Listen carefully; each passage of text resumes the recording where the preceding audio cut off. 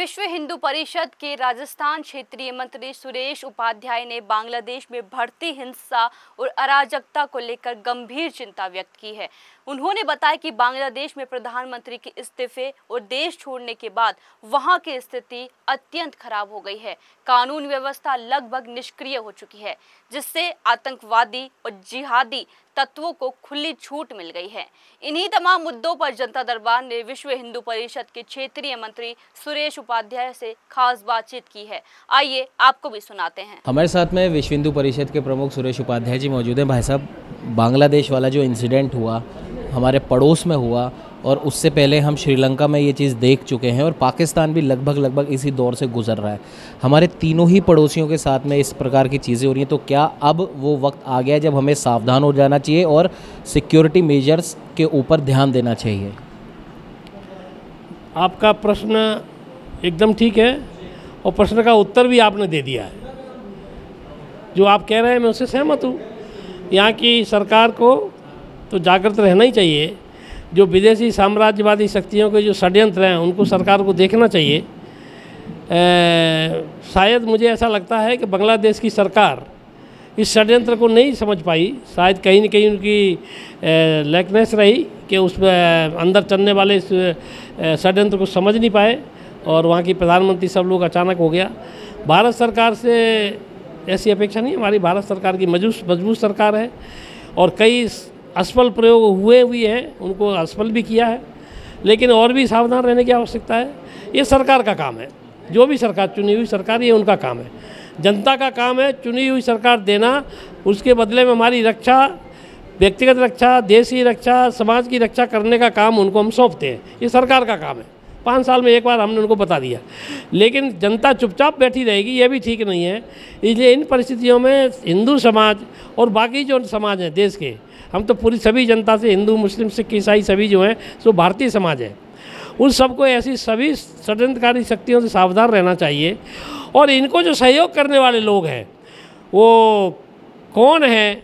व्यापारी हैं, कर्मचारी हैं, नेता हैं, या और कोई है, या किसी भी धर्म और संप्रदाय के हैं, ऐसे देशद्रोहियों की पहचान करके उनके खिलाफ सरकार को कार्रवाई करनी चाहिए।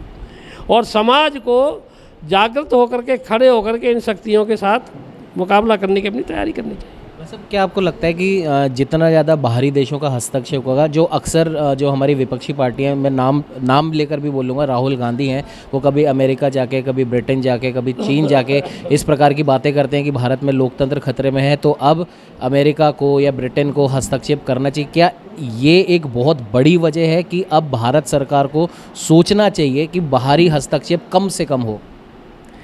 देखिए ये राजनीतिक प्रश्न है। उन्होंने क्या बोला, क्या नहीं बोला। हम अपनी संस्कृति का एक, जो सब घर, छोट गाँव से लेकर के शहर तक है।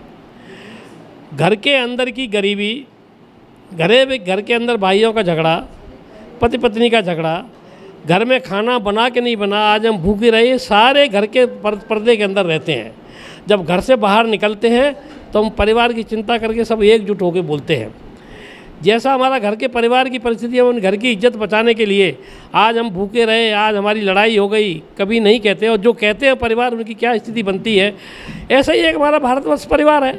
यहाँ हम रोज़ लड़ेंगे, रोज़ देखेंगे किसी दल के हों। लेकिन भारतवर्ष से बाहर जा कर के हम देश के खिलाफ़, जो विषय देश के खिलाफ जा सकता है, ऐसा नहीं बोलते। और इसके लिए मैं सबसे बढ़िया उदाहरण जो मानता हूँ फिलिस्ट इजराइल का मानता हूँ। इजराइल में नेता पिछले पाँच चुनाव से पूर्ण बहुमत से नहीं जीत पा रहे। लेकिन अभी फिलिस्तीन से लड़ने के लिए सारे इजरायली एक होकर लड़ रहे हैं। ये फीलिंग होनी चाहिए, देश पहले है।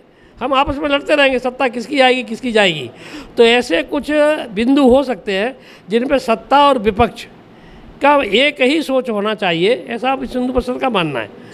राहुल गांधी क्या बोलते, क्या जवाब दें, उस पर मैं टिप्पणी नहीं करना चाहता सब एक सवाल और ये भी बनता है कि जिस प्रकार से बांग्लादेश का उदाहरण हो गया हो या पाकिस्तान का उदाहरण हो गया या श्रीलंका का उदाहरण हो गया, भारत के परिप्रेक्ष्य में अगर हम बात करें तो भले ही वो किसान आंदोलन हो, सीए के खिलाफ आंदोलन हो, एनआरसी के खिलाफ जो आंदोलन हुआ, कहीं ना कहीं क्या विश्व हिंदू परिषद का इशारा इन्हीं ताकतों की ओर है जो भारत के अंदर रहकर इतने बड़े पैमाने पर आंदोलन करते हैं और भारत को कमज़ोर करने की कोशिश कर रहे हैं?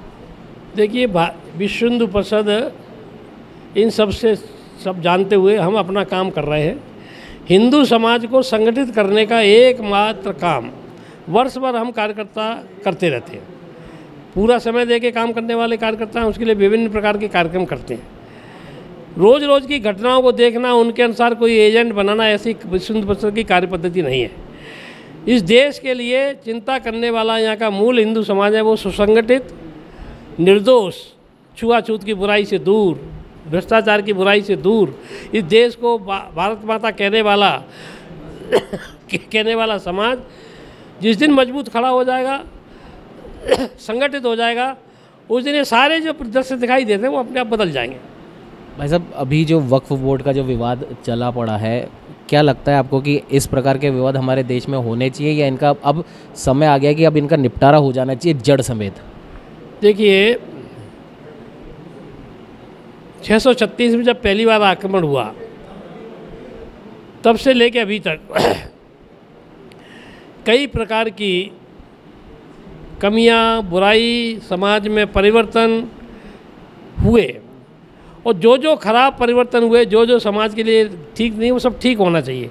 जैसे छुआछूत हमारे यहाँ नहीं थी। जाति हमारे यहाँ नहीं थी। कर्म के आधार पर हमारी भारतीय संस्कृति, भारतीय विशेषता है। लेकिन इन 1800-1900 साल में जाति भी आ गई, जाति के आधार पर छोटे बड़े भी हो गए। ये किसी भी शास्त्र में नहीं लिखा है, वो सब ठीक होने चाहिए। उसी प्रकार जो नियम बने हैं, संविधान में जो कमियाँ हुई हैं, उनको ठीक करना चाहिए। जैसे धारा 370 देश के लिए घातक हट गई तो हटना चाहिए। ऐसे बहुत सारे बिंदु हो सकते हैं। और हम तो कह रहे हैं कि अखंड भारत बनना चाहिए। अखंड भारत की कल्पना में भारत, विश्व हिंदू परिषद ये नहीं है कि पाकिस्तान में भारतवर्ष का शासन होना चाहिए। जो हमारी भारतीय संस्कृति है, उस संस्कृति को मान्य, संस्कृति के आधार पर आज भी बांग्लादेश हमारे साथ जुड़ा हुआ है। भारतीय संस्कृति के आधार पर पाकिस्तान हमारे साथ जुड़ा हुआ है। आज बांग्लादेश में ढाकेश्वरी माता, कभी हमारे मंदिर होता था। बांग्लादेश से व्यापार करके मलबल ले जाने वाले अंग्रेज़ भारत से लेके जाते थे। तो कभी आज से सत्तर, पचहत्तर साल पहले हमारा हिस्सा था। तो भारतीय संस्कृति के आधार पर जो हमारा भारतवर्ष का जो पूरा भाग है, वह एक पुनः अखंड भारत बनना चाहिए। शासन व्यवस्था अलग हो सकती है, उसमें अधिकार करने वाला बात नहीं है, पर मूल रूप से हमारे पूर्वज एक ही हैं। हम इस संस्कृति को मानने वाले हैं। इसलिए हमें किसी उपासना पद्धति से विश्व परिसर को कोई विरोध नहीं है। लेकिन देश हित पहले सर्वोपरि है।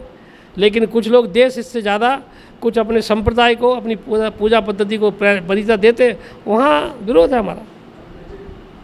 ये थे हमारे साथ सुरेश उपाध्याय जी, इनका साफ़ तौर पर ये कहना है कि जिस प्रकार बांग्लादेश में जो घटनाक्रम हुआ, उसके बाद अब हिंदू समाज को अब जागृत हो जाना चाहिए और अब समय आ गया है क्योंकि कहीं ना कहीं इस प्रकार की जो ताकतें हैं, वो भारत में भी धीरे धीरे सक्रिय हो रही हैं। भले किसी भी आंदोलन की यहाँ बात कर ले, भले किसान आंदोलन हो, सीए हो या एनआरसी के खिलाफ आंदोलन इस प्रकार की ताकतें लगातार भारत के अंदर रहकर, भारत को कमज़ोर करने का काम कर रही हैं। इन ताकतों को पहचानना चाहिए और शासन भले ही किसी भी पार्टी का हो, लेकिन देश हित हमेशा पहले नंबर पर आना चाहिए और अगर देश हित पहले नंबर पर आएगा तो जो भी उदाहरण हम हमारे अड़ोस पड़ोस में देख रहे हैं, भले वो बांग्लादेश हो, श्रीलंका हो, या फिर पाकिस्तान हो, इस प्रकार के उदाहरण हमारे देश में ना तो देखने को मिलेंगे और ना ही कोई इस बारे में सोचेगा। अगर हम देश हित के बारे में सबसे पहले सोचेंगे। सहयोगी कैमरामैन अजय के साथ उमंग माथुर, जनता दरबार।